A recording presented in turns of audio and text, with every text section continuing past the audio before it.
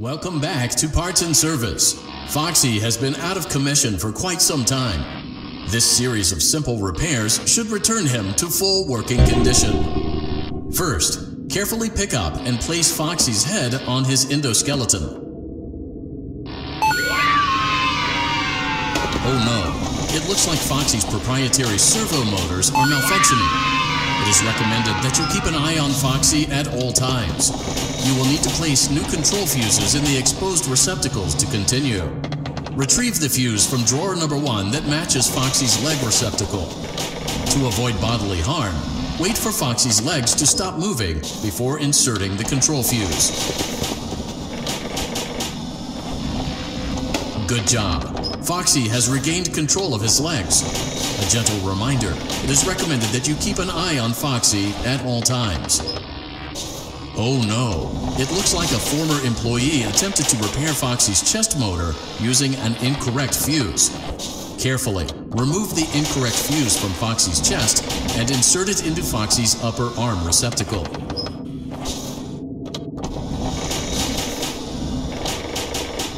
Well done.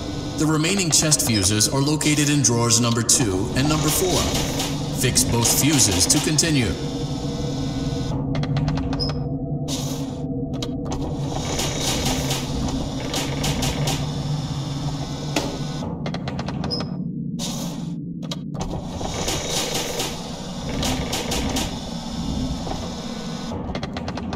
Good job. Retrieve Foxy's eye from drawer number 3. When Foxy's eye patch is fully open, place the eye back into his eye socket. Well done. This concludes all your parts and service tasks. Pirate Cove can now be reopened.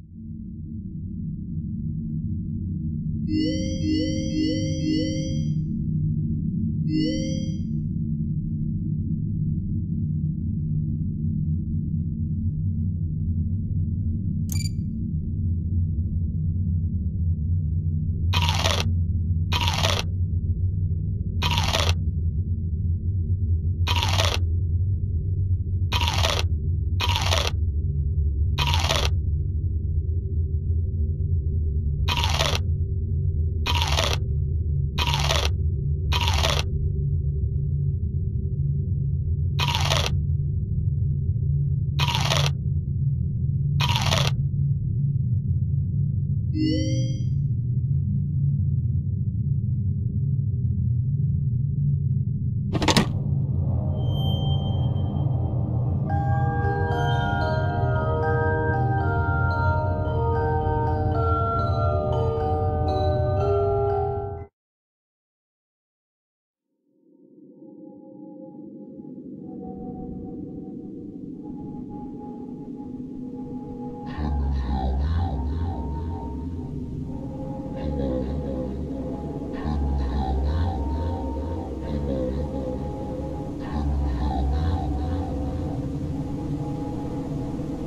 was told I had three days to finish Jeremy's work, but I know it's just passing the time. They don't really expect me to do anything. It's just to keep up appearances until the buyout is complete. We have to look like we have things under control. There's another potential development studio that wants to pick up from here, but who knows what kind of lies they're being fed to convince them to do it. Against my better judgment, I'm going to do my best to see what's here. make notes of it, and try to isolate where this thing is hiding. At least then, the next person that tests this will have a chance of getting rid of it.